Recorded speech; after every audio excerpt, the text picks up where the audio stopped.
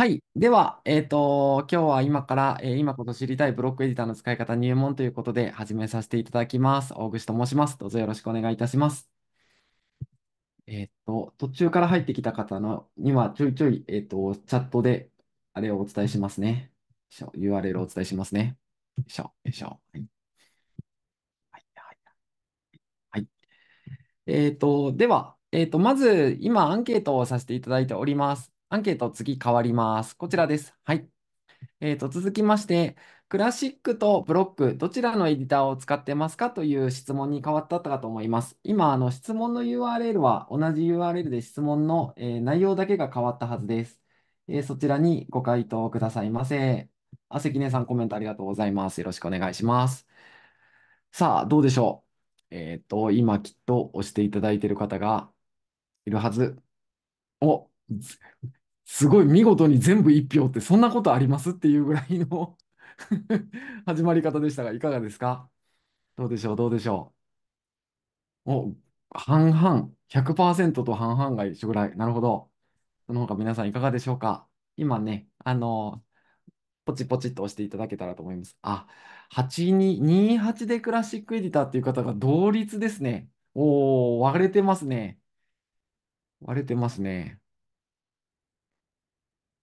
お、クラシックエディターが増えた。何ですか？うん。あ、だとしたらとてもいいかもしれません。あの、今日はクラシックエディターが、あの、どうも、ブロックエディターが使いにくいなと思ってらっしゃる方や、あの、ブロックエディターに移行するの難しいんだよねと思ってる方向けというのが多いところにはなりますので、えっと、そのあたりも含めてお話しできればなというふうに考えております。はい。じゃあ、そうですね。あの、もうちょっと、ちょうどターゲットに入ってる皆さんが、あの、来ていただいたということでありがたいです。ありがとうございます。あの、引き続きこちらも、えっと、もしまだの方は投票いただけたら、最後の方にか後で確認しますので、ありがたいです。でですね、えっと、今、この画面だと思うんですけども、私はそうですね、8、2、いや、もう今100%かな。今の案件でクラシックエディターないですもんね。はい、こっちにしましょう。で、えっと、今度こっち側のタブ、Q&A っていうのがあります。で、ここに質問を入力することができますね。えっと、こちらでですね、今日一番聞きたかったこと、えーもしくは、えっと、今日こういうことが聞けたら嬉しいなっていうこととか、今悩んでることとか、ブロックエディターについて、えっと、疑問とか不安とか、えー何でも結構です。あの、オープンなものとしてご記入いただけますか？えっと、なん、今日はとりあえず話聞くだけだわっていう方は、あの、書かなくてもいいんですけども、もし書けそうだったら書いてくださいませ。あの、これは、あの、匿名で書けます。で、かつ、あの、後からご回答することもできますので、えこちら、あの、これからイベントを進めていきますが、あの、その間にどんどん書いていただいたら結構ですし、一お一人であの何個でも質問いただけます。また、あの、いただいた質問に対していいねを押すこともできます。で、いいねが入ると、あの、その分、あの、皆さんが知りたい質問だろうなと思って取り上げますので、あの、そのようにさせていただきます。おっと、いい。間違ってましたか？私、質問が。えっと、あ、ごめんなさい。これ、だから、こっち、あの、わかりにくかったですけど、そういう感じです。あの、えっと、確かに分かりにくかったですね。上から順番に100%ブロックエディター、80%ブロックエディター、半々ぐらい、えー、20%ブロックエディター、100%クラシックエディターっていう意味ですね。あの、こう、分かります？なんとなく比率が逆転していってるっていうふうに感じていただけたら、あの、いいかなと思います。はい。すいません。あの、上手に言葉が間違ってましたね。すいません。ありがとうございます。はい。じゃあ行きましょう。えっと、本編入っていきます。はい。えっと、今アンケートしましたってとこですね。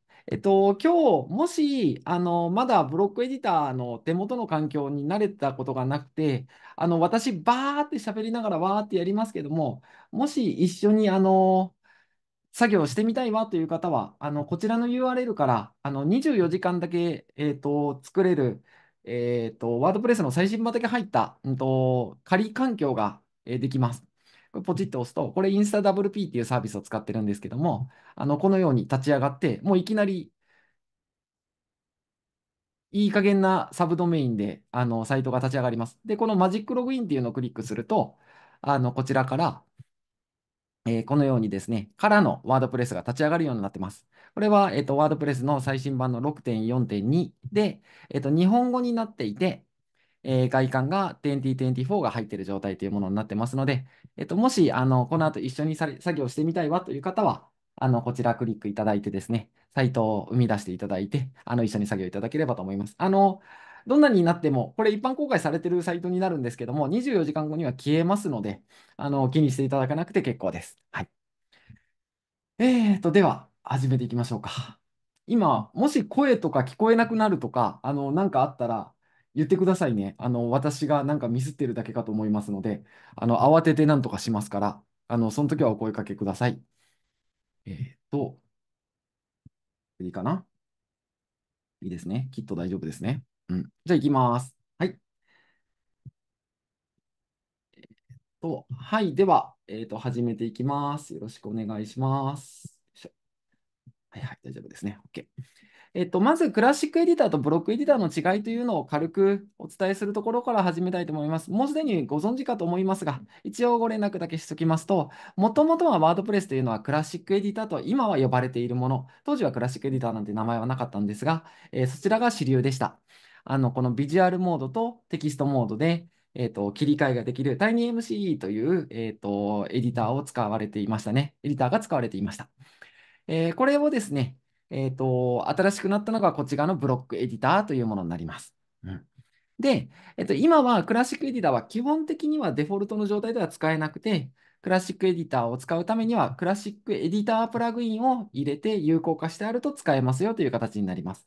なので、ワードプレスが、えっと、5.0以上であり、えかつクラシックエディターの状態ですという人は、おそらくクラシックエディタープラグインが有効化されている状態かと思います。で、えっと、まず注目すべきは、もう2018年に、えっと、公開されたもの、年末でしたけども、公開されたものですから、2019、20、21、22、23ですか？もう丸5年に、えーなろうとしているというような形ですね。2024? え ?9、11、2、3。そうですね。丸5年、次もう6年目に入ろうというようなエディターになっております。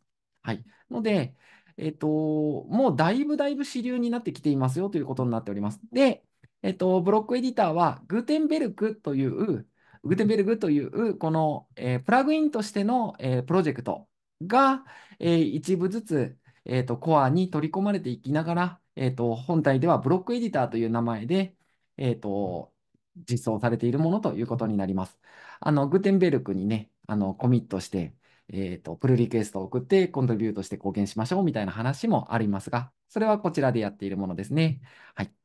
で、えっと、ブロックエディターには、えーロードマップというものがあります。えー将来的にこんな機能を実装していきましょうという4つのフェーズがありまして、まずはブロックエディターでの編集をできるようにしましょう。えーそして、フルサイトエディティング。えーと、投稿だけじゃなくて、投稿の画面だけじゃなくて、ヘッダーやフッターといったサイトの周り、テーマを、えー同じようにブロックで編集できたらいいよねというフェーズ。そして次がコーエディティングっていうふうに書いてますけども、えーと、同時共同執筆という内容です。あえーと、Google ドキュメントとか、Google スプレッドシートとか使われたことはございますでしょうか？あの、要は、同時に複数人の人がオンラインで入ってきて、Figma もそうですね。こうやってこうみんなで入ると、あの、カーソルが動いて、えーそこでみんなで執筆ができるようになるっていうのがありますよね。あの機能が、えっと、今まさに開発中ということになっております。そしてさらに、この後マルチ言語対応というのがありますという流れになっております。でですね、ちょうど、あの、毎年、マット・マレンウェグさんっていう、えっと、ワードプレスの、えっと、共同創始者の一人、えー今オートマティックっていう会社の社長さんですけども、が、ワードプレスのことについて1年のおさらいとこれからのお話をする、えー、State of the Word というのが毎年開催されております。最近は、えーと、コロナ以降、オンラインになっていて、今年はオフラインでやりつつ、えっと、オンラインでの同時放送もあったみたいな感じなんですけども、えっと、その中で、いくつかこのブロックエディターについても当然言及がありまして、えその中でもコエディティングの内容がありましたので、えまずはぜひそちらを見ていただこうかなと思います。きっと、あの、なんかちょっと楽しいかなと思うんで、これを見てみてください。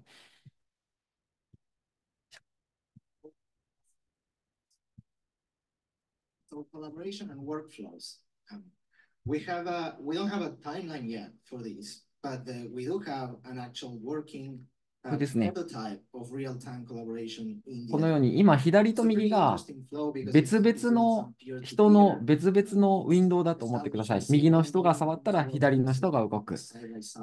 右の人が画像を差し替えると、当然左の人の画像も差し替わるといったような機能ですね。えー実はこれもうなんかお話では、グーテンベルクのプラグインを入れると見れるということになっておりますが、えっと、もうすぐ将来的にはこれが、えっと、これからの新しいフェーズのワードプレスにおいてはやってくるということになります。結構すごいですよね。私はすごいなと思ってますが、いかがでしょうか？あの、例えば、エディターさんと一緒に作業するとか、えーお客さんとお話ししながら、えーじゃあヘッダーメニューこうしましょうか、ああしましょうかって言いながらサイトを作っていくとかっていうようなことができるという形になります。えーその他ですね、ちょっとせっかくなんで、これ、もうつい、えっと、先日行われたイベントの内容、2日前かな？に行われた内容だったんですが、その中でもいくつかあの強力な内容、あの面白い内容があったので、そのあたりもちょっと本筋からは離れるんですけども、今日せっかくこの日なんでお話しさせていただければと思います。えーとですね、例えばですね、うんとちょっとすごかったのは AI ですね。まあ、今や AI がすごくあの来てるよねっていうのはありますけども、それによって、えっと、ブループリントができるっていう内容が発表されてました。えっと、コラボレーションパターンスタイルで、えっと、これかな？インタラクティブ API で Learn AI Deeply ここかな？Last year, um, in Porto, working Europe, I asked have to learn on. AI deeply. Uh, This was actually before ChatGPT came out. まあ今年はね、チャット GPT とかが非常に、あの、流行った年でしたね。え、その AI が、あの、ワードプレスにおいてどういうふうに働くかということを紹介してもらってます。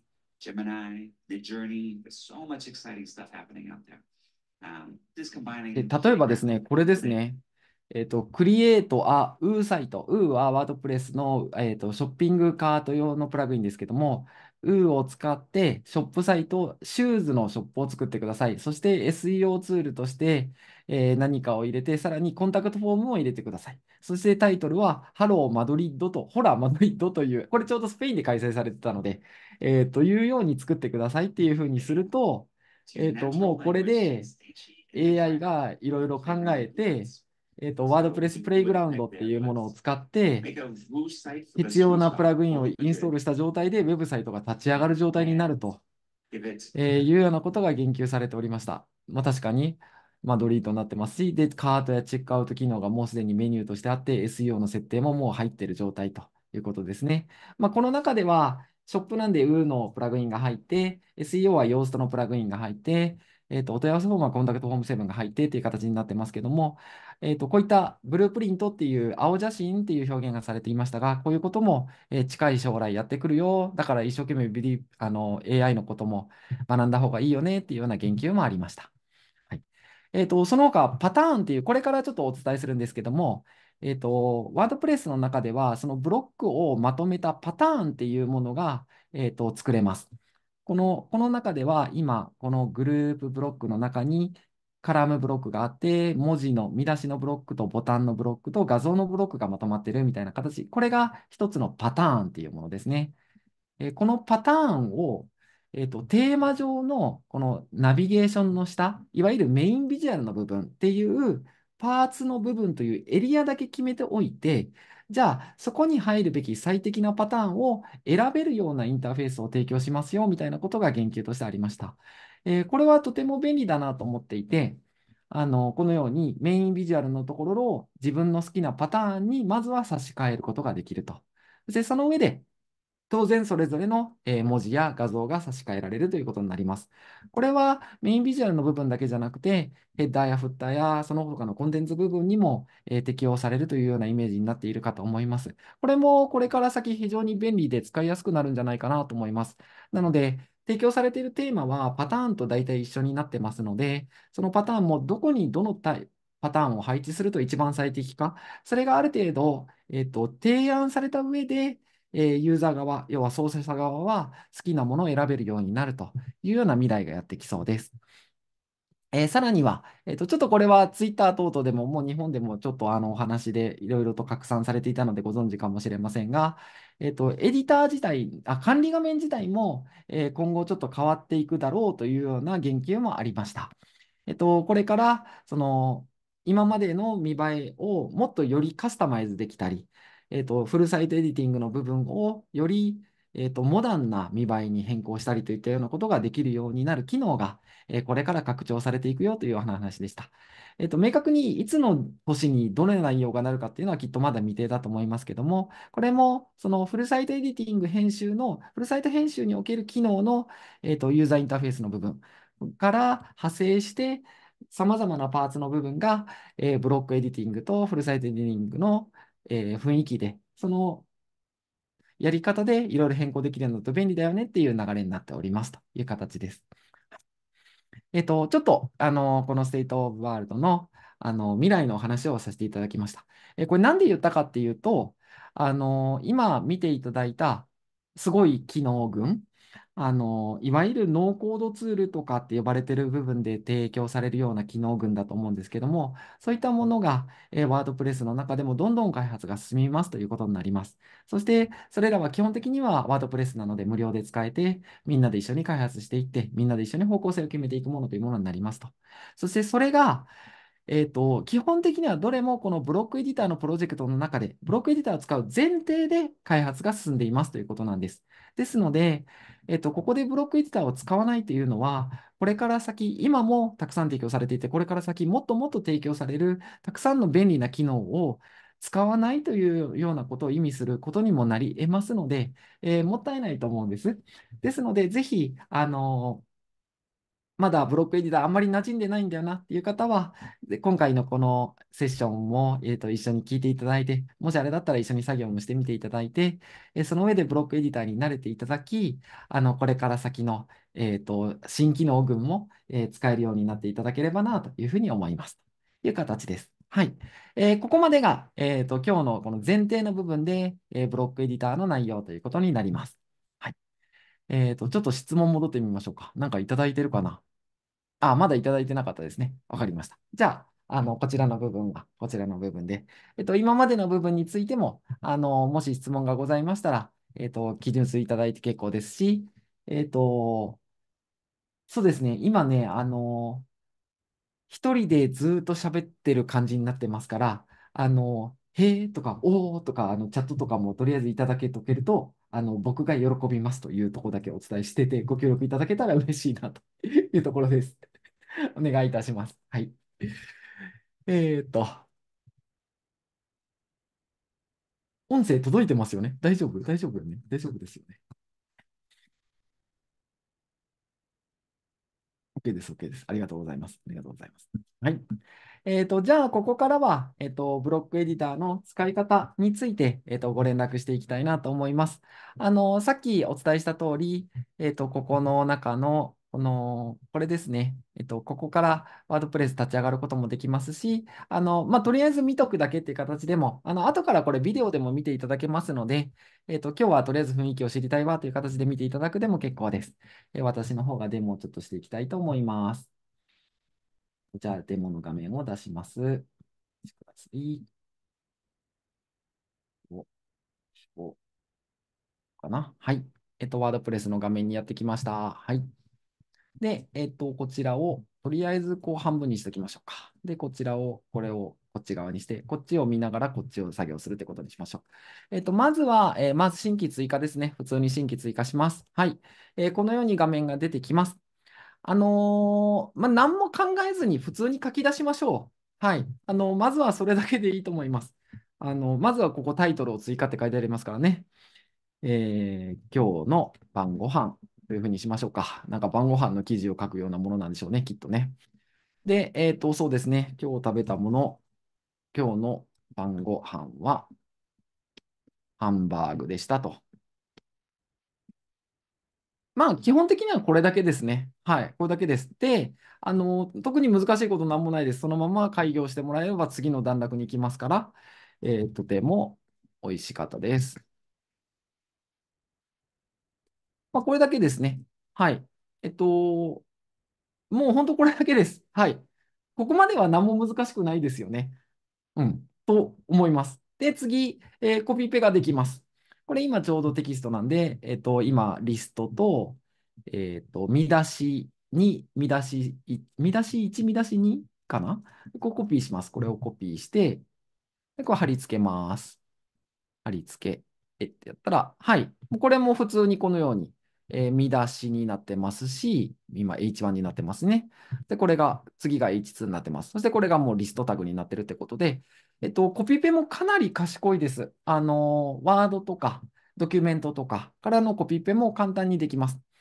えっと、コピペについて言えば、えっと、画面キャプチャーを取ったものをそのままコピペすることも可能です。例えば、えっと、そうですね、ここに今、画像がありますけども、画像を右クリックからコピー、クリップボードにコピーされましたね。これを、えっと、このまま右クリックから貼り付け。はい、これで画像も貼り付けられます。あの、デフォルトの機能です。えっと、最近はこういうクリップボードに保存した画像を貼り付けられる機能っていうのが割と多くのところで汎用的にあります。ワードプレスも当然のようにそれが機能としてあります。貼り付けると当然のようにメディアライブラの方にもこのようにアップデートさ、アップロードされてますので、えっと、割と何も考えずにそのまま、え貼り付けていただければ大丈夫かなと思います。で、えっと、これを塗りつぶして太字にしたり、えこれを塗りつぶしてリンクにすればリンクが書けますよというだけのものですね。はい。はい。このぐらいです。まずは。うん。えっと、まずは、えっと、コピペができる。特に何も考えずに開業だけで、えっと、文字が書け出せますよっていうことだけまずは覚えておいていただければと思います。で、さらにここからもうちょっと、えっと、進んで、えっと、どんどんどんどんこうテクニック的なことのお話をしていきますということで至っていきますね。はい。で、えっと、まずは、あ、よかった。画像をコピペできるんですね。知らなかったです。よかった、よかった。え、できます。あの、Mac とかだとこうやってね、範囲選択して、これでコピーされるんですけど、これペッて貼れば、えっと、これはあのテキストじゃなくて画像として貼れましたね、今ね。画像として貼れました。はい。こんな感じで、あの、簡単に貼り付けができます。はい。で、えっと、次、えっと、画像の、ちょっと6.4になりまして、画像が、えっと、良くなりました。画像に対してクリックで拡大機能がついたんです。この子どういうことかっていうと、えサムネイルでちっちゃい画像だとして、ちっちゃい画像に対してクリックで拡大機能がつきましたので、これをポチッと押します。これですね、えっと、この、今は、これ段落ブロックっていうものをクリックすると段落ブロックに対しての設定。見出しブロックをクリックすると見出しブロックに対する何かしらの設定。え画像に対して押すと画像に対する設定が出てくるんですけども、まあ、オルト5入れるとかね、キャプチャーですとか。っていうふうになってるんですけども、ここでクリック拡大ボタンがあります。で、これポチって押すと、えーこれで、えーと、画面の画像の拡大機能が、えーと実装されます。実装というか、設定されます。で、ここをこうなって、ほら、こうやってこう、今、わかります？あの、虫眼鏡のマークに変わったの。で、これポチッと押すと、こういう風に拡大して、これでバツで閉じるという機能があります。これも、あの、6.4からデフォルトの機能として画像ブロックに対してつきました。うん。うんと、これ今サムネイルにしましたから、これ普通フルサイズにしてとかでこうしておいて、こうすると、まあこれはこれでちゃんとこうなって、こうやって拡大されるみたいな感じになっております。えっと、これは、えっと、画像ブロックに対して新しくできた機能ですね。便利ですね。便利ですね。で、えっと、これら今、あの、ちょっと私はもうブロックエディターが上手ですから、分かったか、私はこれが見出しブロックで、これがリストブロックで、これが画像ブロックみたいに、えっと、分かるんですけども、皆さんはまだまだ最初は分かんないと思うので、ここで一番使っていただきたいのが、この、うんと、ブロックナビゲーションっていうのを使っていただくということで、次がパネルの活用になります。えっと、もうこれです、これ。これ、このマーク。こポチッと押すと、このようにリストビューという形で、今、この記事を作るのにどういったブロックが使われているかっていうのが出てきます。こんな感じですね。今上からなぞっていくと枠が出るんで分かりやすいですね。段落ブロック1つ目、2つ目、3つ目。で、見出しブロック、見出しブロック、リストブロック。で、リストブロックの中は、うんと、この中、パターンとすると、この中にさらにリストブロックの子要素としてリスト項目が入ってますよと。そして画像ブロックが入っているという形になっています。うん、わかりやすいですね。なので、えっと、あ、この画像ブロックは上側に持っていきたいというときは、ここからドラッグしてギューって持っていって移動することも可能です。今、腕に来ましたね。画像を一番上にしようと思ったらドラッグしていけばいいです。えっと、もしくは、えっと、この子をこの見出しの下にして、えーこの見出しは今 H1 だったけども、やっぱり H2 にしようとか、えーいう使い方もできますね。えーで、H2 になると、こいつはこいつの中身だから H3 にしたいとかっていうこともできます。で、えーさらにこの状態でアウトラインっていう方を見ると、今の全体の、えーとアウトライン、概要としての構造も出てきます。見出しと文章構造がこのように出てきて、えっと、H2、H3 とかの親子要素に破綻がないかなとか、今何文字かなみたいなものも出てきます。まあ、こっちはちょっとよりマニアックというか、あの詳しい人向けなんで、こっちだけまずは理解いただいて、えっと、この要素を使い分けるといいかなと思います。例えば、えっと、見出しがあって、その下に、えっと、本文がありますと。これが本文だから、これをずらしといて、こうですね。で、これは1個いらないんで、これをここから削除しましょう。削除。だこれで、えー見出し、段落、画像がワンセットだとしますね。そしたらこれを例えばグループブロックにすることができます。ここから、えーとグループ化。あの、レイヤーの統合みたいなイメージですね。グループ化。ですると、これが一つのグループになりました。で、えっと、ここで、あの新しい機能ができました。えっと、グループに対して分かりやすい名前をつけることができるように6.4からなってます。6.3までできなかったんですけども、なので、ここからクリックして、名前を変更をクリックすると、このブロックに対して単体の名前をつけることができます。えっと、これ何でしたっけ？いい方って見えるんで、こう、いい方って保存しましたけど、えっと、うまい、うまい使い方か。これか。じゃあ、これを、えーこれはグループ自体に名前を管理するためだけにつけているものですね。はい。こんな感じで、えーこうすると、このブロック要素がグループとしてうまい使い方っていうグループで、その中にうまい使い方の見出しと段落と画像が入ってるんだなっていうのが分かるようになりますという形です。まあ、これが必要かどうか分かりませんが、例えば背景に色をつけるともうちょっと分かりやすくなりますね。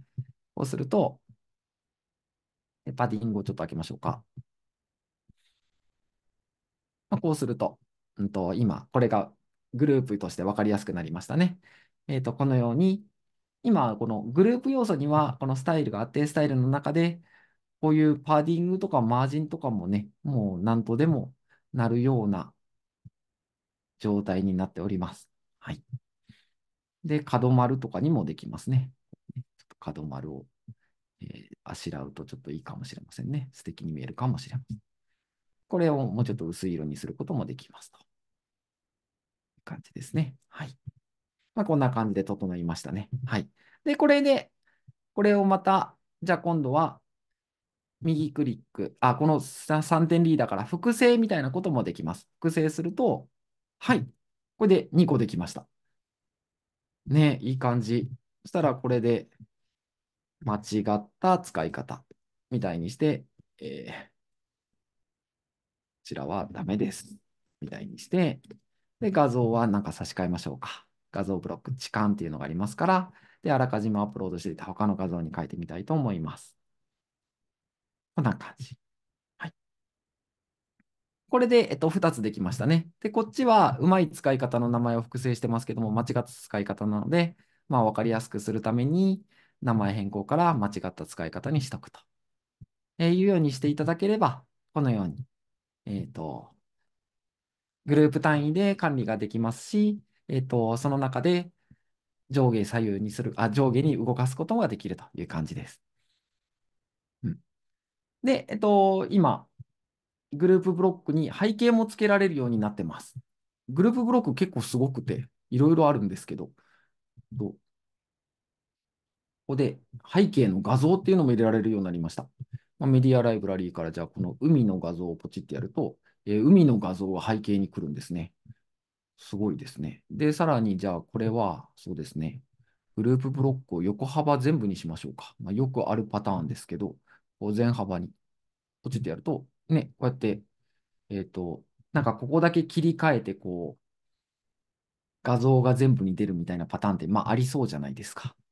ね。で、これで、えっ、と、角丸はなしにして、えっ、と、そうですね。さらに、上下にちょっとマージンというか分けたいと思いますから、そしたら、この見出しの上に、えっ、と、スペースを入れたいので、えっと、このブロック要素に対して、えっと、パディングをこうやってつけることもできますし、ね、これで良さそうですね。そしたら、この中身の字は白くしたいので、テキストを白にとか、いうようなこともできますという感じですね。こういうのはだんだん慣れてくると思います。うん。こんな感じで、えっと、ご自由にあの作業いただけます。で、またこれ畳んどいて、で、これうまくできたなっていうのがあったら、またこれを複製すれば、ポチってなったら複製できますから、で、これでまた違う画像にすれば、えっと、こうですね、メディアライブラリーから、じゃあ今度はこの意味ありげな森の画像にするとこうなるというようなことで、えっと、自由に使っていただけます。うんはい、戻ります。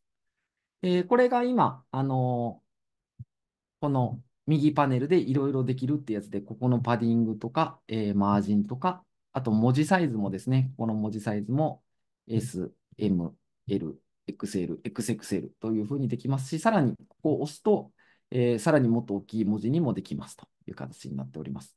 この辺もあのポチポチ押していただければきっとだんだん分かってくると思うんで、あの慣れていただいたらいいんじゃないかなと思いますね。はい、こんな感じで、どうです？なんか、そんなに難しくなくできる気がしてきません？今、私ちょっといろいろやりすぎてます？戻りましょうか。ちょっと調子乗りました？いきなりレベルが高かったかもしれません。あの、まあまあ、このぐらいのところ。でも今までは、決してクラシックエディターだとこういうふうにはできなかったはずなんです。ただそれをなんとなくこうお話ししながらポチポチするだけで作業ができて、きっとこれは楽しいんじゃないかなと思いますし、今まで HTML を書けなかった人はこういうふうに角丸にしたいなと思ってもできなかったのが、今はできるようになりましたからね、あの、すごくいい機能かなと思っています。はい、で、えっと、次、ツールバーの活用っていうのがあります。えーツールバーっていうのは、今このそれぞれに選択したときに出てきているこの部分の話ですね。今すでにもうちょっと使ってましたけど、例えばグループブロックを選択した場合のツールはこの幅ですね。幅広か、えーなしか、えー全幅かっていうのが選べるっていうのがこのツールになります。で、見出しの部分に来ると、見出し部分は例えば、えー中央寄せか、右寄せか、左寄せ。あとは太字とか、えーと、太字とか、えー斜め文字とか、リンクとか、あといろいろここにもありますね。うんと、いろんなものが打ち消し線とかいうのもできます。で、さらに一応ここに複製したりとか、スタイルをコピーしたりとか、いろんなものがあります。えっと、多分ですね、このツールが、普段文字を打っている方には、煩わしいって思う方もいらっしゃると思うんです。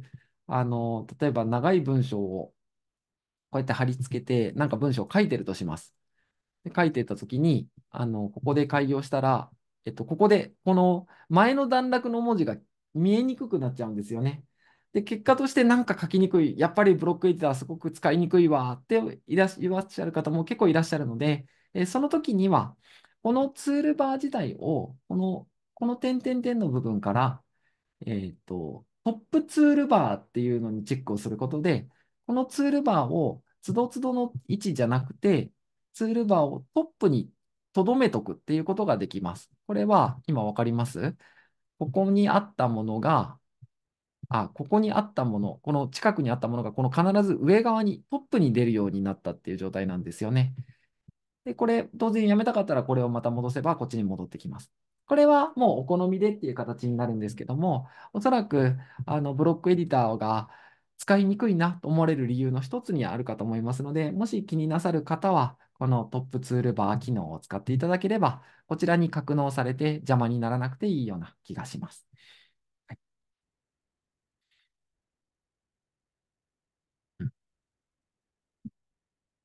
で、えっと、このツールバーでもすごく使いやすいやつでして、例えばこのグループブロック、私はトップツールバーにするのあんま苦手で、こっち側にいる方が近くていいと思ってるんですけども、この上下マークとかでも結構使えるんですよね。これ上ポチッと押すと、1個ブロック上に行きます。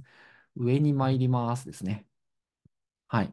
で、下に参りますってと、下にどんどん行きます。わーってね。これ今こっち側見ていただくと、1ブロックずつ上に動いてるのがわかると思います。こんな感じで、えっと、上下の移動ができるのはとてもいいかなと思ってますし、あのー、こことここの間に入れたい、もしくはこの画像の下に入れたいのに、つかめないみたいなことってあると思うんです。えっと、あり、あると思います。今はこれ明示的にグループがありますけど、この画像の下にもう一個なんか入れたいのに、押せないみたいなやつ。まあ一応ここでプラスマークからいけるんですけども、その時はこっちの方がいいですね。このツールバーの点々点から、えー、前もしくは後に追加っていう機能があります。で後に追加機能をポチって押すと、ここにもう入力枠として、今わかりますかね？こっち側で見ると、この画像に対して、ここの部分が増えます。後に追加を押すと、ここにポチッと増えます。え、こうすると、まあ、このプラスマークも押しやすいですし、ここに早速書けますしっていうことで、えっ、ー、と、このツールバーの中から、えっ、ー、と、前に追加、後に追加、もしくはこっちの、えっ、と、リストビューの中から、え前に追加、後に追加っていうふうにやると、同じようにここに段落ができるんですけども、えこうしていただけると、あのすごく使いやすいかなと思います。めっちゃわかるってコメントいただきました。よかった。あのキャンペーン中です。あの皆さんのよくあるブロックエディター困る集をお伝えすることによって、ブロックエディターを好きになっていただくキャンペーンを今実施しておると考えていただいたらいいかと思います。画像中央映像もできますね。はい。こんな感じで、えっ、ー、と、作業がいただけます。作業していただけます。はい。えっ、ー、と、して、これ、あの、複製もあります。あの、今、複製見せましたけども、えっと、これ、ここのグループを掴んで、グループから複製ってやれば、これがいくつでも増えますね。いいですね。いいです、いいです。で、えっと、当然コマンド Z で戻ることもできます。はい。あと同じようにこっちからも、えー、複製ができます。複製、複製という形でね。こういうふうにできますので、えこれも何かしらいろいろ使えるんじゃないかなと思います。はい。ということで、このツールチップ、えツールバーをと、このリストビューをうまく使うことで、ブロックエディターはかなりあの、皆さんにとって使いやすいものになるんじゃないかなと考えております。もう今日のハイライトも何だったらこれぐらいだけでもいいところですが、まだまだあるんで、えーと、どんどんお伝えしていきたいと思います。はい。えーと、次にショートカットをお伝えしたいと思います。あのー、普段こうやって記事を書いていて、えーと、じゃあ次段落ブロックを書こう。えー、段落ですと。段落ですと。で、えー、この次に、この下に見出しを書きたい。でも、見出しの書き方が分かんないから、いつもマウスに、キーボードからマウスに手をずらして、で、ここでプラスマークを押して、で、見出しマークを入れて、またキーボードに手を戻して、見出しを入力し、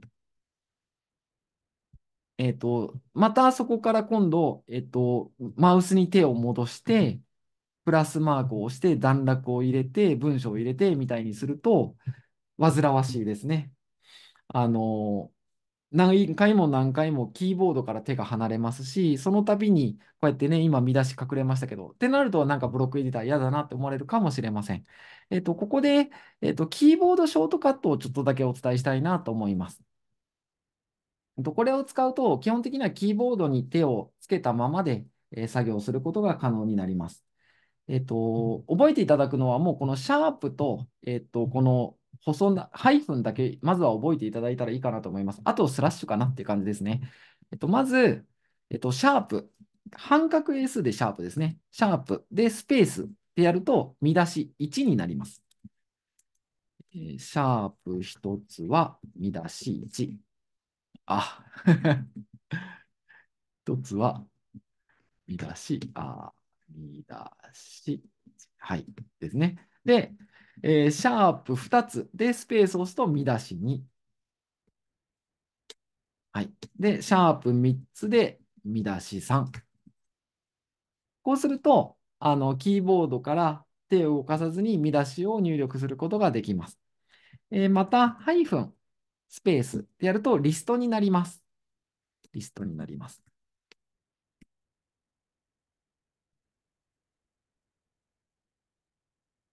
こんな感じですね。はい。で、えっと、まあ、ちょっと書いてないですけど、1ドットスペースでやると数字の見出しになります。あ、数字のリストになります。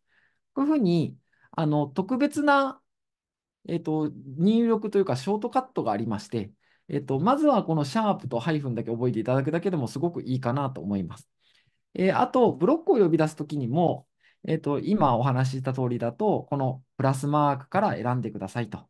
で、ここに、えー、と何かしら出ます。もしくはすべてを表示をすと、こっち側にすべてのブロックが出ますから、その中から自分の使いたいものを選んでくださいってなるんですけども、ブロックが多いんで、自分が欲しいブロックを選びたいだけなのになかなか見つからないなんてことになるかもしれません。えー、ので、そこでお勧めしたいのが、このシャープじゃなくて、あ、このスラッシュですね。スラッシュ。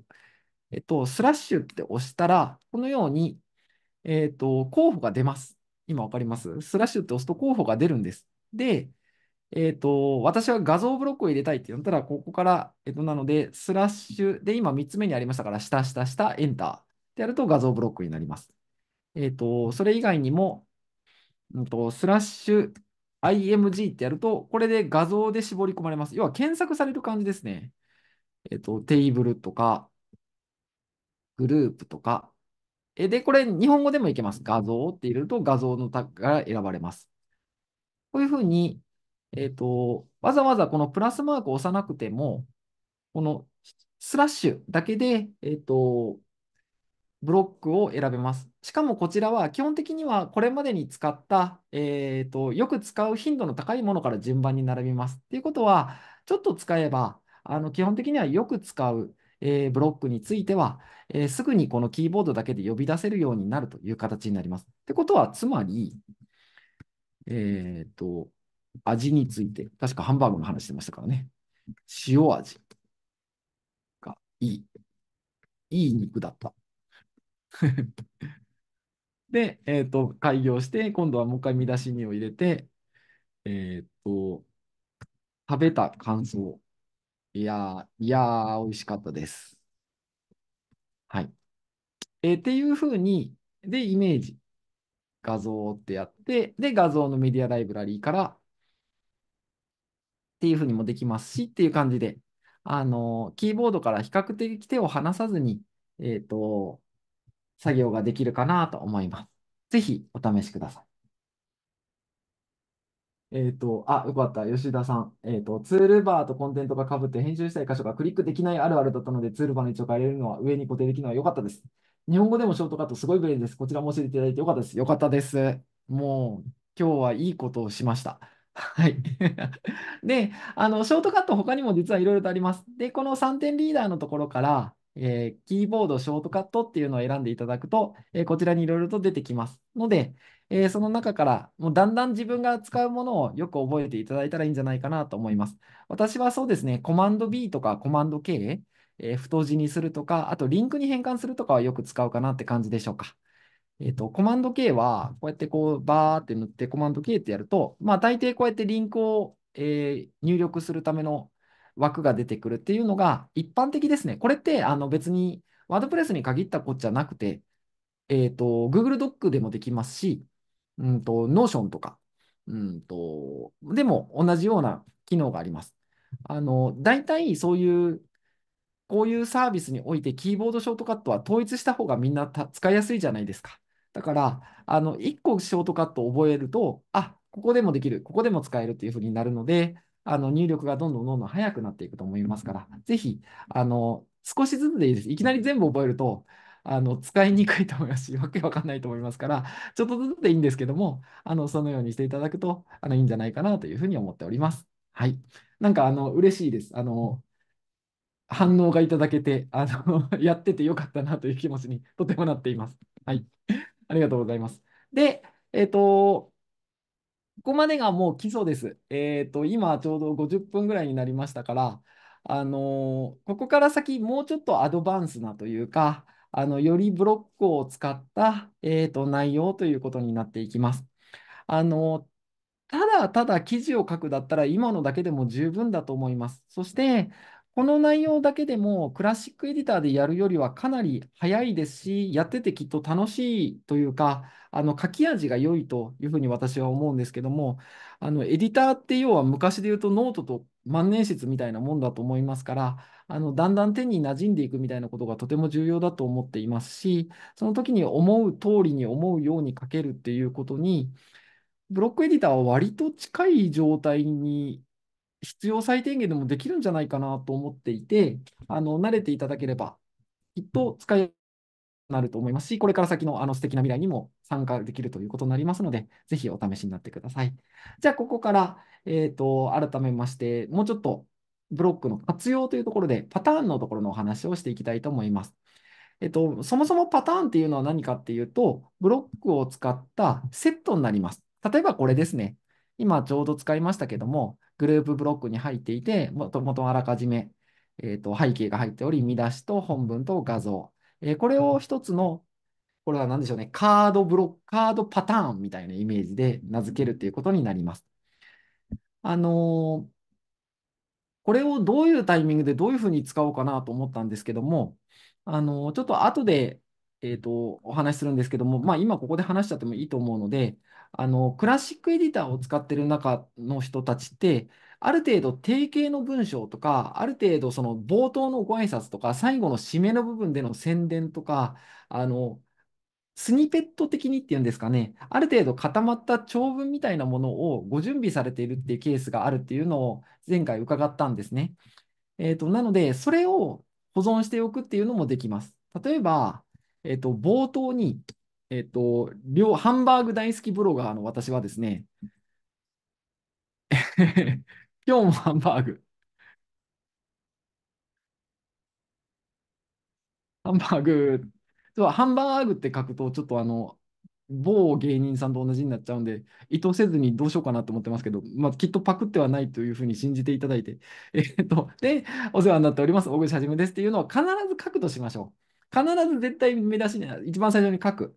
えー、だから、それをあの定型文として保存しておいて、えーと、クイックタグとかっていう、そのクラシックエディターで完全にカスタマイズできるようなものがあるんですけども、そういったものを使ってましたよっていう時に、えーと、パターンは使えます。えっと、この2つを選びます。この2つですね。このブロック2つを選んだら、ここからパターンを作成っていうのがあります。パターンを作成。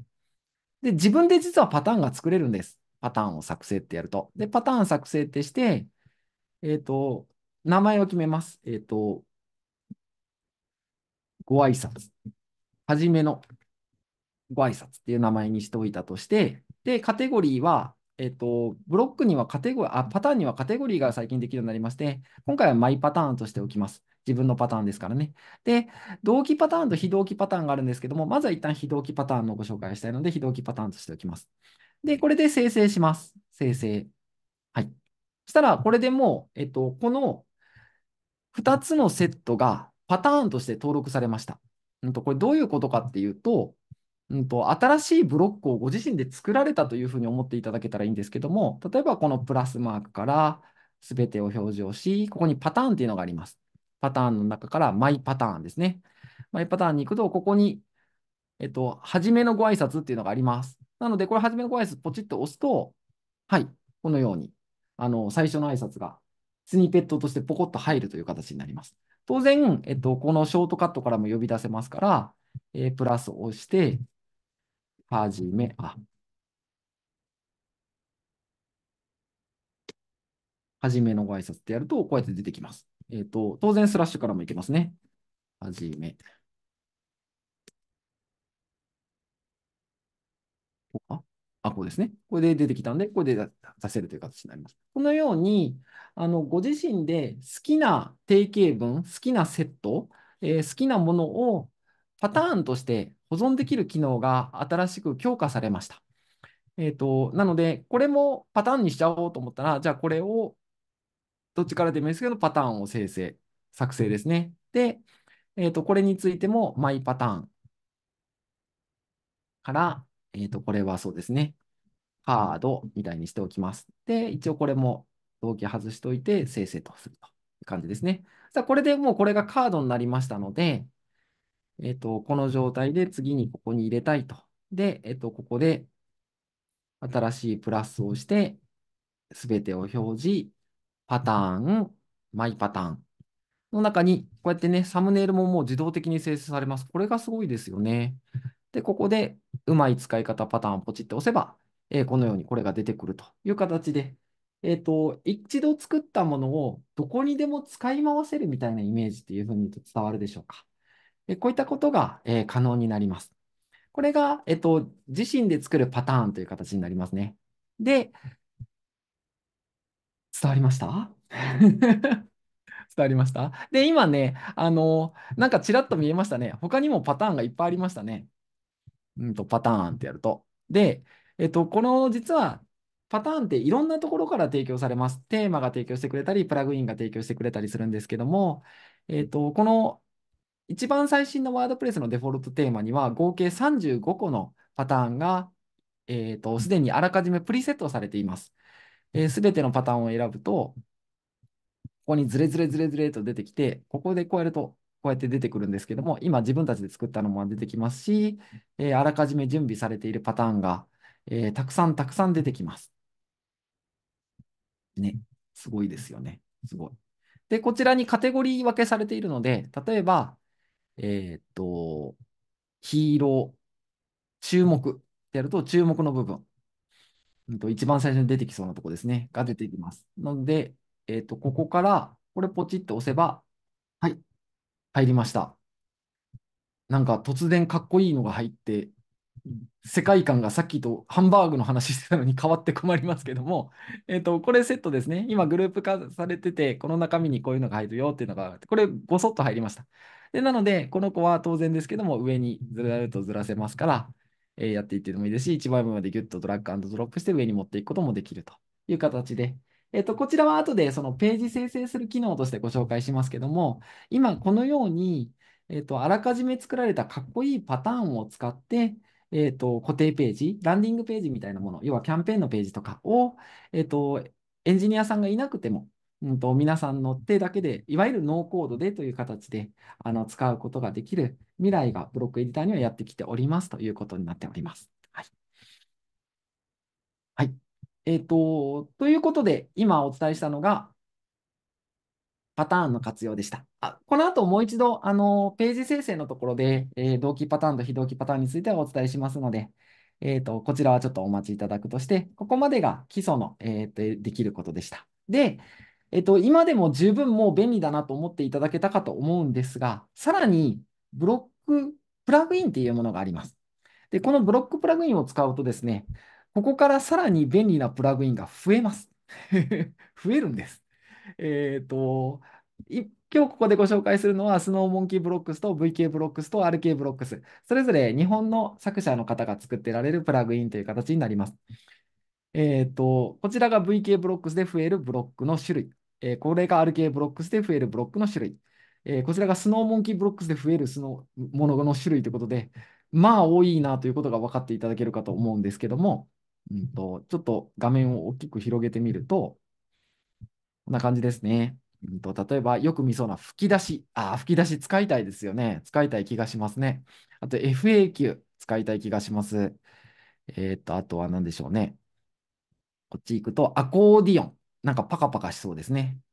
えー、その他には QA、えー、っと、タイムライン、スライダーもありますね。これプロって書いてあるからプロでないとダメなのかな？目次ブロック。えー、こっち行くと、あ、こっちはコンテンツスライダー、プロって書いてないから使えそうですね。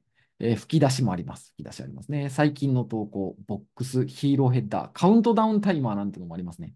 えー、っていうように、ちょっとなんか楽しくなってきたとしたら嬉しい反応なんですけども、あの、自由に使います。これらは、あの、基本、あの、途中から今この、例えばスノーモンキーとアルケも、VK ブロックスもそうですね。あの、途中からプロ版っていうのになって課金すると、よりさらにブロックが使えますよってなりますが、え、ー、と、途中までの部分、一部のところは、え、無料でそのまま使えますということで、そこもちょっとご覧いただこうかなと思います。よいしょ。えっと、じゃあ、こちらはですね、えっと、こっちはすいません。あの、今、ご提供したやつの中には入ってないんですけど、今、ここにプラグインだけ一応ここに置いてあるので、えっと、スノーモンキーブロックスと、えー、VK ブロックスと、うんと、RK ブロックスを一旦有効化します。ポチ、ポチと。はい、使いました。あ、使ってみたい。いいですね。嬉しいです。で、これ新規追加します。はい。でですね、うんと、では、ブロック、テストみたいにしてみましょうか。はい。で、ここでポチッと押したら、えーここで今有効化しましたからね、今までなかった RK ブロックがここにいます。いますね。確かにいる。で、次に、えっと、下側に行くと、ここですね。VK ブロックスがここにいます。そして、スノーモンキーブロックスもここにいるという形になってますね。ちょっととりあえず派手そうなコンテンツスライダーやってみましょうか。ポチ。はい。コンテンツスライダー入れると、コンテンツスライダーブロックっていうものがここに配置されました。で、多分ここに、何ですかね。えっと、あーなんかスライダーっぽいものが出てきますね。矢印を表示、ドットを表示、フェード、スライダーをずらすなどなどが出てきております。多分ここプラスマークを押す感じですかね。えー高さ100%、配置可能、配置可能。はい。ああ、なるほど。で、こう。はい。で、画像。はい。で、メディアライブラリから画像を1個選びましょう。選びました。いいのかなこれで。で、また、配置可能。はい。2個目。で、画像。うん、画像。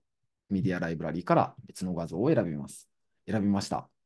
3枚ぐらいは言っときましょうか。画像。メディアライブラリから、えー別の画像。はい。今、このように、えっと、3枚の画像が配置されましたね。配置されました。で、コンテンツ自体のスライダーの設定はこの一番親ブロックでやるっぽいので、とりあえず全部つけてみましょうか。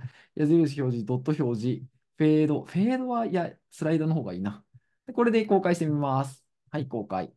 で、表示と。さあ、どうなるかなあ、へーい。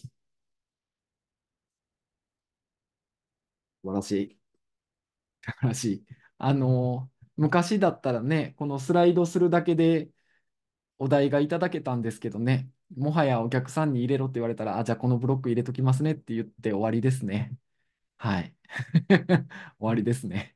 え、えーっと、はい、こんな感じのものが今入りました。じゃあ次行きましょう。後に追加して、今度は、えーっと、パターンから、えーっと、VK ブロックの吹き出しブロックを入れてみましょうか。ポチ。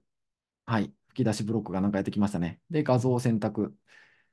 えーと、画像から、ちょっと人の画像はないですけど、まあ、これにしときましょう。これ。はい。で、えー吹き出しに文章を。こんにちは。私です。はい。で、えっと、これに対して、えっと、ここにアイコンにメガ、名前って書いてあるんですか？私ですか？メガネにしときましょう。うん。で、これに対するセッティングは何かあるんですね、きっとね。吹き出し。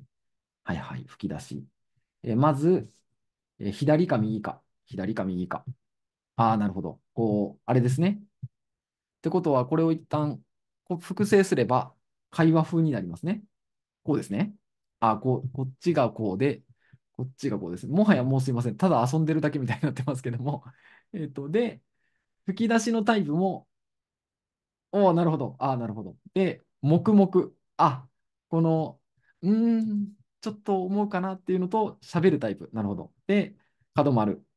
えー丸抜き。ああ、ここも、ここも丸く抜いてくださるんですね。なるほど。便利ですね。便利。で、これは、じゃあ、丸抜きがいいな。で、幅は100%にすると横に伸びる。なるほど。罫線を入れると罫線が入る。なるほど。えっと、アニメーション。プルプル。おお。プルプルさせておきましょう。ちょっと楽しいんで。はい。すっごいプルプルしてますけど。どうなるんでしょうか？あ、プルプルしてますね。これ、伝わってます？プルプルしてる、見え、見えてますよね？きっと見えてますよね。はいはい。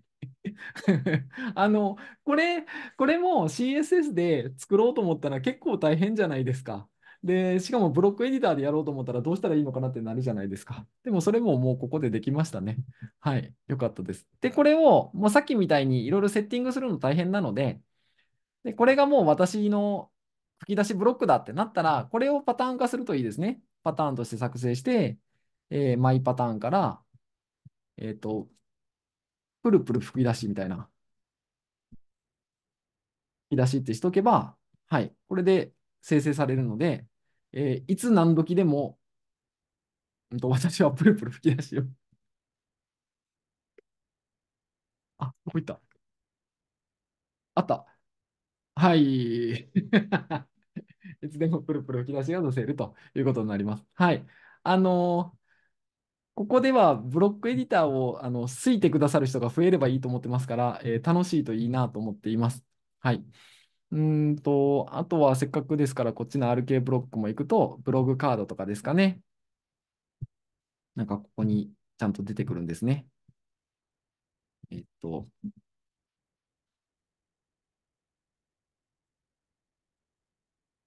で、リンクをポチッとやると。はい、リンク。ソリーって言ってた。あ、そっかそっか。これ、あれか。あの、ブログのカード、埋め込みのやつですね。なるほど、なるほど。えっと、じゃあ、私のメガネブログ、自分のブログを埋め込むことにしましょう。うんと、これを、こうして、こうして、こうですね。あ、ちゃんと保存されました。そして、あの、素敵なブログカードが出てきましたね。こういうふうに。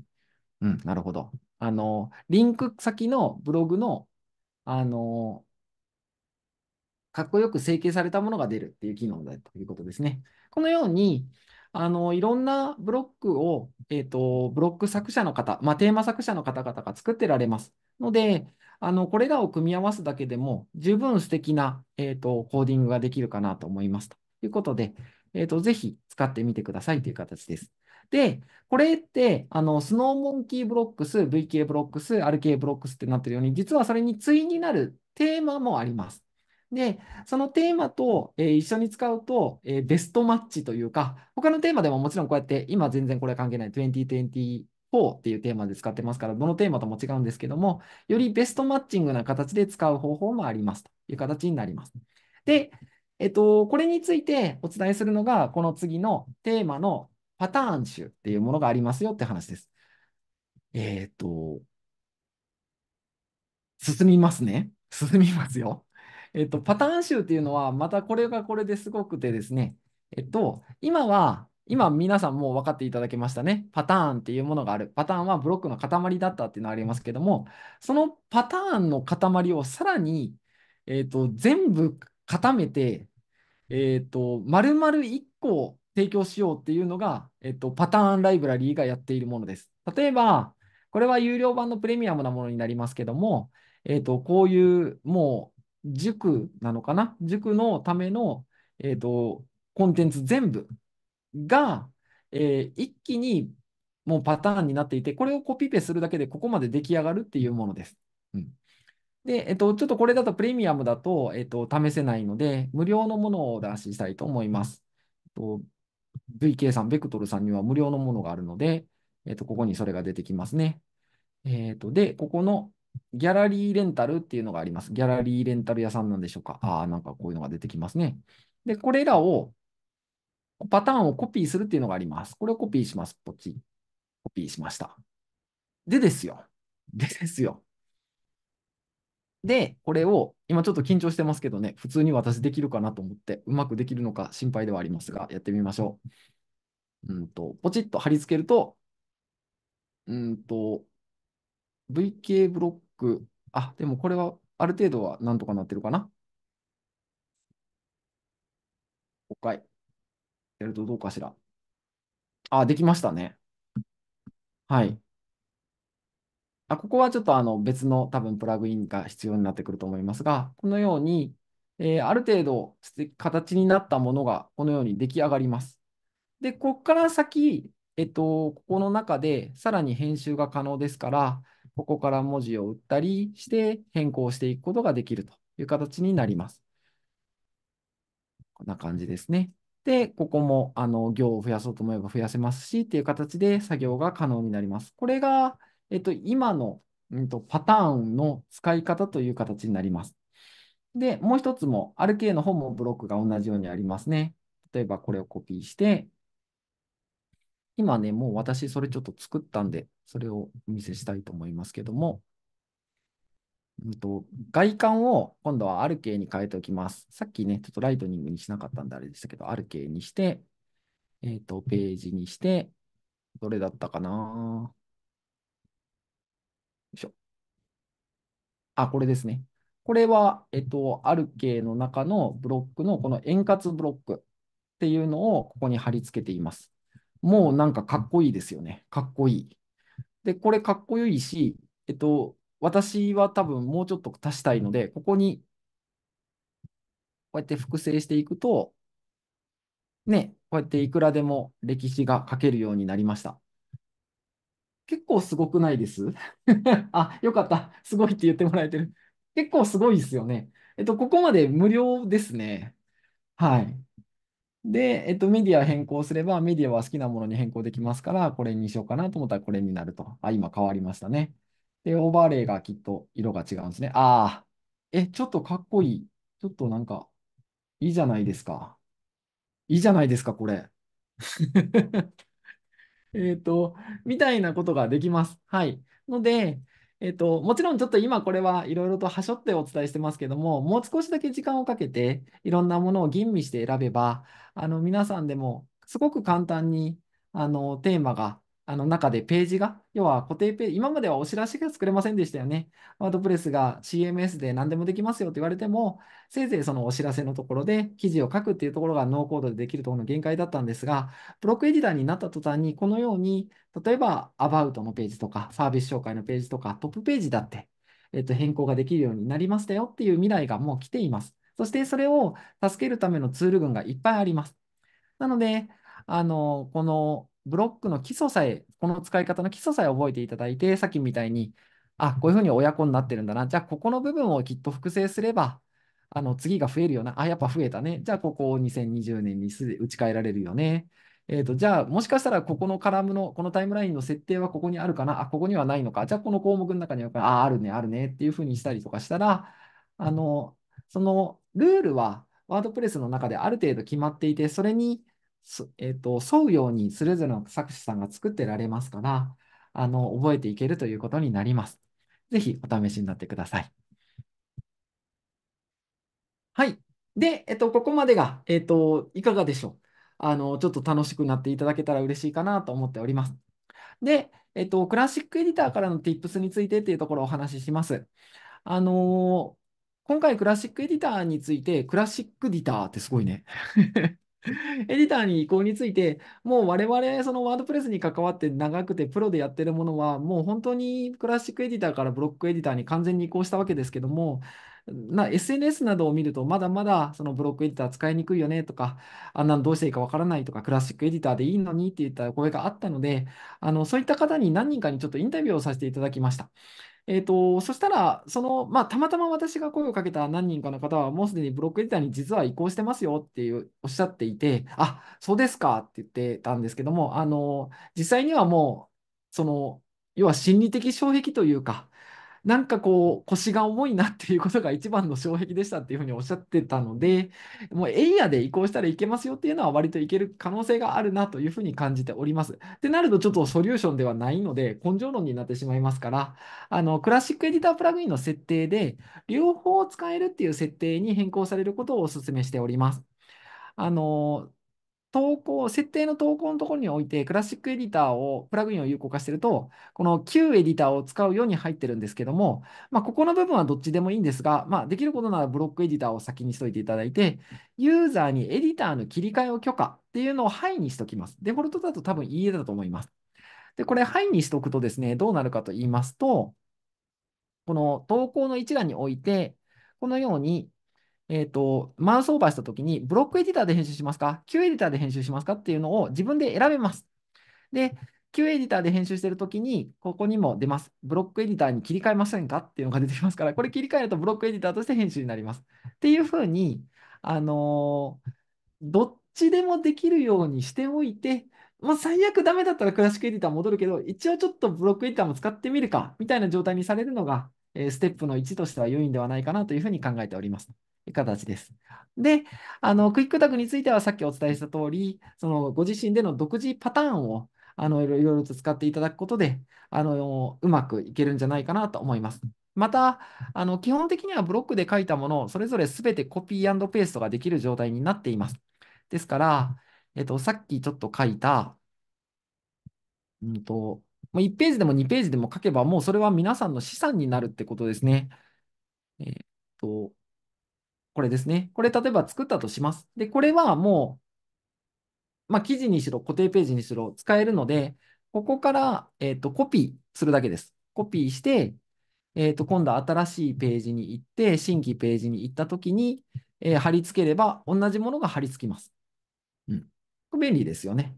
で、例えば、こうやって注文住宅のなんか頑張ったページを作りましたとした場合にも、え今度はここから、すべてのコンブロックをコピーっていうのがあります。すべてのブロックをコピーですね。こっちからでも結構ですし、ここで全部を選択して、ここからブロックをコピーでも一緒です。要は全部のブロックがコピーされた状態になりますから、えーこの状態で、うんと新規追加を押して、ここで貼り付ければ、全く同じものがボコンと出てきます。っていうように、一回頑張ったものは今後ずっと使い回せます。これもなんか良くないですか？えきっと、あの、慣れれば慣れるほど、あの、いいことがいっぱいあると思いますので、ぜひ使ってみてください。はい。ということで、えっと、ただですね、ちょっとここは、あの、今までブロックエディターいいことばっかし言ってましたけども、いくつか簡単にはいかない場合もあると思っています。えっと、まず一番パターンとしてありえそうなのが、以前に買ったテーマでずっと、例えばブロガーさんとかでずっとずっとブログを書いてますと。で、特に困っていることはありませんと。で、ブロックエディターにテーマが対応してない場合っていうところがあります。で、もう今の機能のままで十分でそれでいいんです。だったらいいのかもなんですけども、もしブロックエディターの今までのさっきの機能とか触ってみたいとかってなった場合には、えっと、そのテーマが、こう、ブロックエディターに対応してくるの、してくれるためのお願いをするか、期待して待つか、まあ、もしくはもう切り替えましょうっていう感じですね。その時に今お紹介したような、えっと、RK とか VK の、えっと、ベクトルさんのテーマだとか、ライトニングとかですね。えっと、とか、えっと、スノモンキとか、本当におすすめです。えーそして、あと、ページビルダーを使っている場合、これは、えっと、エレメンターだとか、ビーバービルダーとか、いくつかページビルダーといって、ブロックエディターが出るよりも前に、クラシックエディターより使いやすいブロックエディターみたいなものがあった方がいいよねっていうことで提供されてたことがあって、それも今もどんどんどんどん進化してずっと続いているのがあります。で、こちらは、似たようなものになってるけども、異なる部分も結構あるみたいなものがありまして、そこはページビルダーの提供しているメーカーさんごとに方向が多分違うと思います。もう我々は自分たちのビルダーで行くんだなのか、それともあのブロックエディターになるべくこう合わせていくようにしようなのかは、ビルダーさんごとの、あページビルダーソフトウェアごとの方向性がいろいろとありますから、そこを見極めて追従いただくのがいいかなと思います。追従するのか、もうブロックエディターに乗り換えるのか決めていただくのがいいかなと思っています。あと、カスタムフィールドを使っている場合っていうのも結構あるかもしれません。あの、昨今ですと、うんと、ヘッドレス CMS みたいなものもありますけども、お客様にこういった自由に入力させるのは、かえって良くないんじゃないか。えーだからこそ、より限定的に入力枠をもう固定の名前とか値段とか感想とか星の数とかっていうふうに入力枠を分けてしまって、えーと、バラバラのデータとして保存した方がいいんじゃないかっていう内容の、えー世界観もあるにはあると思います。えっと、ただ、まあ、ブロックエディター、今見ていただいた通り、自由に楽しくできるんで、あの、お客さんがそういうふうにこう、もっともっとやっていきたいと思った時には一番威力を発揮する機能だと思うんですよね。えーなので、えっと、そちらにを使ってみたいなという場合には、カスタムフィールドを使った過去記事は、まあ、過去記事としてそのまま置いといて、これからの記事についてブロックエディター化をすることでも対応いただけるなら、えーそのやり方がいいんじゃないかなと思います。えーこのあたりについては、その現状のテーマをどういうふうになっているか、どういう保守の状態になっているか、もしくはその運用の体制とか、皆さんのご希望がどうなっているかによっても変わってくると思いますので、その制作いただいた方、もしくは制作者、まあ、我々のようなものにご相談いただいて、えーと、何かしら決めていただくのがいいかなというふうに考えております。はい、じゃあ、えーと、最後のセクションに来ました。えーと、で、これからパターンを利用した効率的なページの作成っていうのを、えーと、お見せします。これはもう半分魔法みたいなもので、えっと、2024が本当に素晴らしいテーマだからこそできることなんですけども、あの、今ご紹介した日本のテーマたちで、あの、えっと、ブロックパターンライブラリーがあるものとかは、もうほぼほぼ同じようなことができると思いますので、ご覧になってください。えっと、2024は、うんと、新しいワードプレスの6.4から提供されている公式のテーマという形になっています。まず2024に有効化します。はい。まあ、すでにね、もうトップページがなんだかかっこいいんですけどね。かっこいいんですけどね。で、えっと、これが、えっと、簡単に作れる機能を搭載しているという状態です。でどういうことかというと、固定ページを新しく作ります。そうすると、いきなりまず、えーと、ページテンプレートのスターターキットみたいなものが出てきます。えー、この中から、えー、好きなものを選んでページのスタートができますというインターフェースになっています。まあ、とりあえずはこれを選びますね。これをポチッと選ぶと、はい、これだけでもう今ここにその内容が入りました。嘘みたいですけど入りました。で、えっ、ー、と、あ、ちょっとこれトゥーマッチだわと思ったら、えっ、ー、と、じゃあ今回 FAQ いらないから、これはもう消そうって言ったら消したら終わりです。デリート今押しただけです。で、あ、その下にもう一個入れたいなと言われたときには、ここからまた今覚えたやつですね。後に追加を押して、ここに新しいパターンを追加します。プラスからすべて、そしてパターンに行って、ここに好きなだけパターンがありますね。えっ、ー、と、ギャラリーに行けば写真がいろいろ出てきます。ここにギャラリー、そうですね。これにしましょうかね。ポチッ。やったら、なんか素敵なギャラリーが1個増えました。ねえ ねえって言ってますけど、本当にねえって感じがするんですよね。で、あともう一回追加しましょう。えー、そして、ここに全てを表示からもう一度パターンに行って、やっぱ最後は CTA ですかね。CTA というのはコールトゥアクションの意味で、最後にお問い合わせの、えーと、場所を書いとくみたいなものですけども、えー、分かりやすいコールトアクションがいいので、うんと、これにしましょうか。この、これ、こっち。えー、これで今、えー、ジョイン900プラスサブスクライバーズ、サインアップしてねっていうのが入りました。えー、これで公開って押せば、あ、そっか。これで、えっと、テンプレート上は、えっと、あれですね。唯一、タイトルがあるとダサいので、固定ページのテンプレートでノータイトルを選びます。タイトルなしですね。はい。これだけです。これでもう今、えっと、ぼんやり喋りながらやっただけですけども、このように、かっこいい、モダンなページのひな形がもう出来上がりましたという状態になっています。で当然これは、あの、レスポンシブに対応して、レスポンシブになってもかなり綺麗にちゃんと収まるようになっています。ここがね、なんかワードプレスの凄さですよね。そのワードプレスのデザインチームの人たちがみんなで一生懸命考えた結果がここにあるので、なんせかっこよくなるっていう っていう状態になります。はい。えっと、で、これを、あの今からのページ制作の流れとしては、えっと、こんな感じです。パターンを選ぶ。今選びましたよね、最初に。で、パターンを並べる。で、パターンをカスタマイズして、えー、ブロックごとにまとめて独自に使います。みたいなことができるということになります。例えば、えっと、使い回すっていうのは、今、変更ができますよっていう話をしましたけども、例えばこれが1個の製品のページだとします。なんかこう、そうですね。5種類ぐらいの製品があるとして、これが製品1の、製品01の紹介ですというふうになったとします。えっと、スーパー、ウルトラ、何菓子みたいなね。これが、えー、所有品1ですね。で、一応、プロダクト1としましょう。01としておきます。で、えっと、ここを保存して、じゃあ、プロダクト2にしたときどうしたらいいかっていうと、えっ、と、また新規ページ作って、えっ、と、この中身の内容を全部フルサイトコピーして、で、ここに貼り付けて、よいしょ。ここで貼り付ければ、もうプロダクト2が始められるという形になりますね。2。02っていうふうにすれば、もうこれで OK です。で、これで、ここの部分をノータイトルを選んで、また公開すれば、これで2つの商品ができましたという形になります。すごいことですよね。で、さらにもっと高機能にできます。と、この中身の内容は、ここまでは全部バラバラなんだけども、一部、例えば、もう、ここに間にある FAQ については同じものにしたい、えー、みたいなことがあるかもしれません。あの、FAQ についてはどこの商品も共通のものなんだよね、みたいなパターンですね。うんと、この FAQ については、えっ、と、みんな共通のものとしましょうっていうのがあるかもしれません。えー、これも実現が可能です。これが同期ブロックと呼ばれるものになります。えーと、この子は、えーと、このブロック自体は完全にどこでやっても同じものが表示されるという内容になっています。ちょっと分かりにくいと思うんで、これ更新しておいて、こっち側にも同じブロックを入れます。と、後から追加して、これを貼り付けます。はい。これで更新します。で、ここと今、このプロダクト2とプロダクト1は、それぞれ、えっと、QFAQ のブロックを持ってるっていう状態ですね。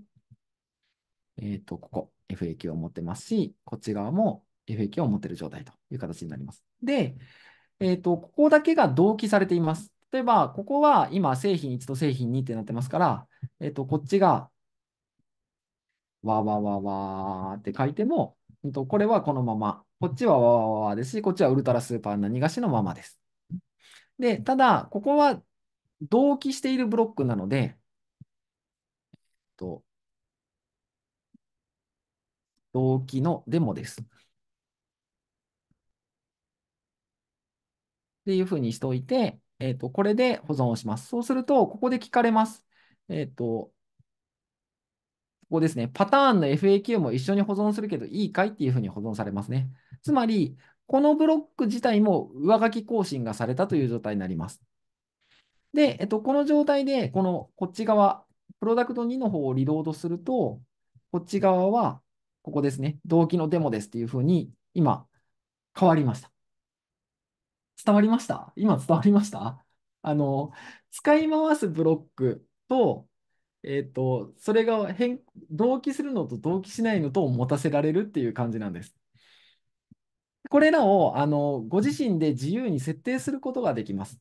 例えばじゃあ、この、このブロックも同期にしようと思ったら、えー、と最後に入れた後で、ここでグループ化さっきパターン化しましたね。パターン作成の時に、この同期を入れとくだけです。同期のチェックを入れとくと、どこで使っても同じ変更点が同じ変更点になる。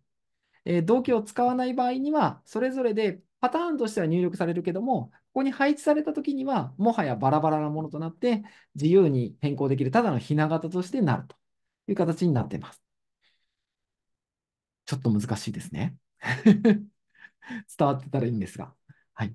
あのー、こういったものを組み合わせることで、本当に自由度高く、あのー、ブロックが変更できて、ページがかっこよく作れる時代がやってきたという感じになっております。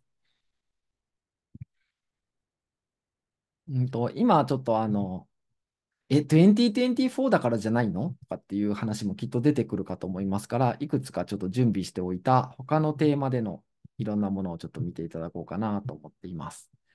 えっと、こういった？あ、これとか。これは、えっと、RK ブロックで、えっと、価格のとお問い合わせとさっきの円滑を縦に並べていたものです。これも全部 RK のパターンブロック内から提供されているもので、えー、それらを組み合わせてただコピペしただけです。そしてこれらはすべてブロックとして変更集が可能です。えー、こっちは注文住宅の内容で、これをデフォルトのテンプレートにしておいて、ここをレイアウトを1カラムにすると、これでかっこよくなるという。感じですね。はい。このように、えっと、注文住宅についての内容が、え、それぞれこうやって出てきて、え、この内容をもとに変更して画像を変えて、本文を変えてっていうような形で作業ができます。えー、っと、もうちょっとうまくパターンができればいいですけども、あのこのあたり、そのプラグインを有効化すると、えっと、ここからリンクになってたりするですね。あ、今これあれだ。プラグインが、パターンが有効化されてないから余計なんだ。えっと、ブロックパターンを有効化して、はい。こうだな。これでこうすると、あ、そうですね。これでよりかっこよくなりましたね。うん。ね。で、これも何したかっていうと、えっ、ー、と、ここの VK ブロックライブラリーからある、えーと、パターンのやつを戻ってきてコピペしただけです。だけなんです。こっちの RK もそうで、RK ブロックから、えー、ある系のパターンからコピペしただけなんです。はい。うんと、もちろん途中からね、結局自分たちでお客様のためのことを考えたら、あの自分たちでやるということになってくるかもしれませんけども、これで成り立つならこれでうまいことやれば、それだけで十分かと思いますし、さっきのスライダーもありましたし、えっと、今までのビジュアルエディター、クラシックエディターではできなかったことが本当にたくさんできるなというふうに感じていただければと思います。では、えーと、ちょうどお時間になりまして、えーと、このブロックエディターの便利さに驚いてもらえたら嬉しいなと思います。そして、すでに、えっと、もう私たちのところだと、こういった機能をあのお客様にご提供しておりますので、あの、お客様がお客様自身で新しいサービスページとかが増えたときに、もう複製して作っていただいているサイトも割とあります。えーまたですね、これからあの冒頭に申し上げました通り、えっと、共同編集だとか、AI が作ってくれるだとか、えっと、そのパターンを特定の場所で好きなパターンを選べるようになるとか、えー本当いろんなものが拡張されてやってきます。えーぜひ、まだブロックエディターそんなにだなと思っている人は、あの、この機会に触っていただいて、ブロックエディターと、あの、お友達になっていただいて、えーぜひ、素敵に楽しくサイトやページを作っていただければなと思います。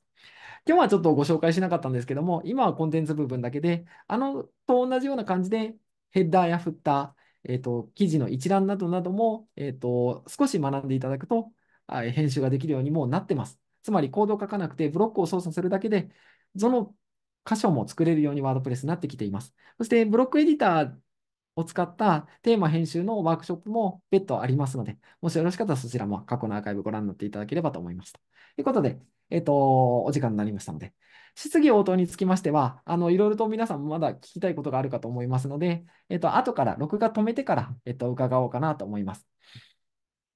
一つだけちょっと取りましょうか。わかりやすい説明ありがとうございます。今、クレシックエディターというか、カスタムフィールドメモリで構築してもらっているんですが、これからブロックエディターではパターンに置き換えていけばいいのでしょうか。そうですね。あの、そちらの方が今は推奨になってきていると思います。えっと、もちろんカスタムフィールドがいいところは、記事詳細と一覧とで、それぞれで表示しないといけない場合、えっと、例えば、なんだろうな、価格っていうものがあったとして、その価格は一覧でも載ってるし、トップページでも載ってるし、詳細でも載ってる。あ、今なんか消えた？大丈夫？大丈夫かな？大丈夫です？画面出てます？出てるかな？はい。あの、そういったところで、あの、これからカスタムフィールドの場所はだんだん少ないと思います。少なくなると思います。簡単な表テーブルを作りたいときのおすすめの方があったら教えてください。えっと、これはフレキシブル、えっと、なんとかブロックっていう、あ、秋浜野さんが作ったのが最高です。テーブル、プラグイン。えーこれですね、フレキシブルテーブルブロックっていうのがあります。これがもうセルの結合からセルごとの色分けからもう何でもかんでも一番上手にできますから、こちらを使うことを強く強くお勧めします。